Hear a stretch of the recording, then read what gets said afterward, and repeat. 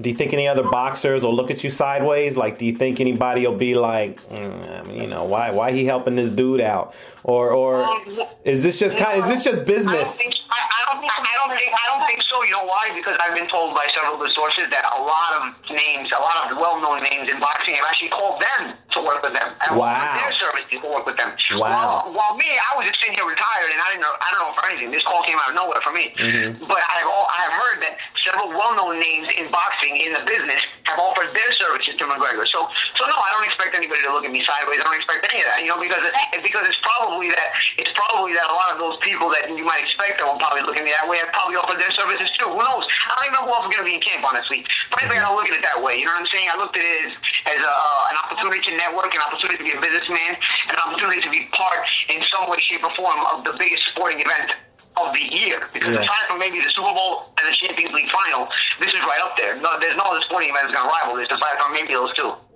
Uh, so are you are you uh, like are you're potentially going to be a sparring partner for Conor McGregor and you're potentially going to be commentating the fight as well?